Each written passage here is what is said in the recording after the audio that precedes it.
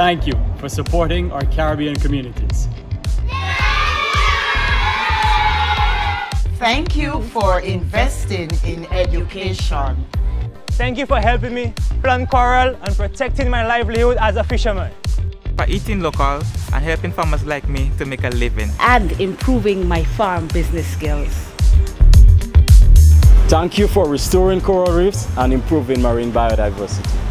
Thank you for providing training in emergency response so that I can help save lives. Thank you for making it possible for volunteers like me to support the healthcare services in the Caribbean.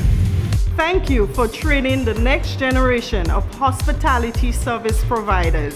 Thank you for training me in bartending and helping me perfect my craft. Thank you for teaching me the art and science behind trying new things with food.